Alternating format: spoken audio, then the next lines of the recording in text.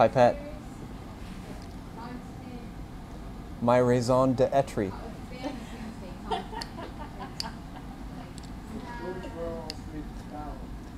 So here I am pipetting stuff. You know why I'm pipetting right now? Because I didn't do a very good job pipetting last time. So I have to fix it. F2 goes in F2. It's kind of like Battleship, only with DNA.